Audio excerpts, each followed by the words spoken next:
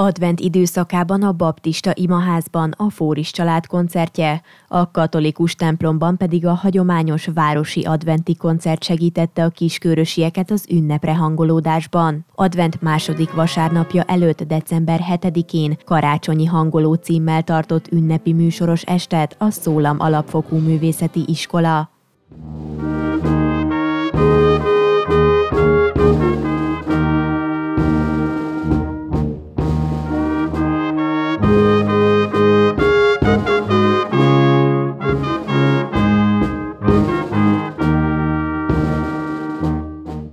A koncertet Boldocki Róbert tanár úr részfúvós kamara kvintettje nyitotta meg. A Szólam Alapfokú Művészeti Iskola karácsonyi hangoló koncertjén a várakozás dallamai és hangjai csendültek fel a zeneiskola növendékeinek és tanárainak előadásában. A közönséget Markóné Csányi Gabriella intézményvezető köszöntötte. Az esti műsorban minden tanszak és az iskolában tanuló növendékek több korosztálya megmutatkozik majd, így nagyon színes, hangulatos este vár ránk ma.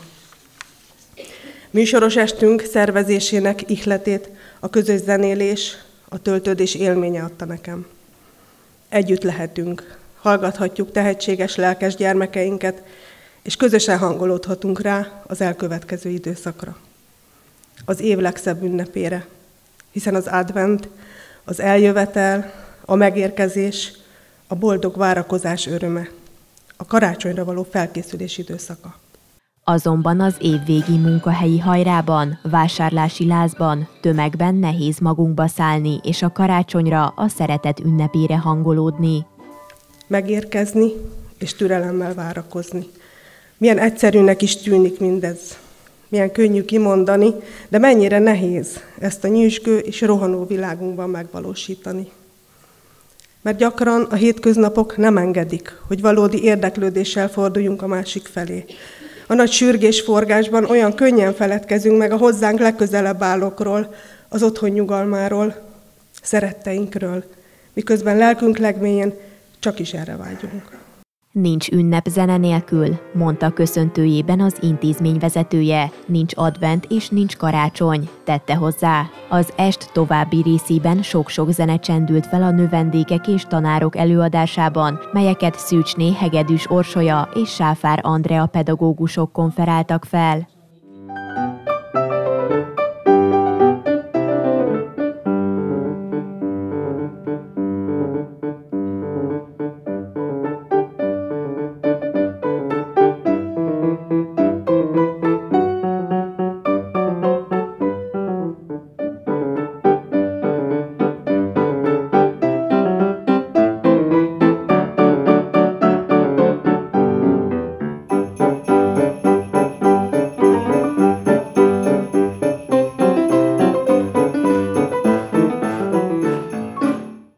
A Szólam Alapfokú Művészeti Iskola karácsonyi hangoló koncertjét december 22-én pénteken nézhetik meg a Kiskörös televízióban.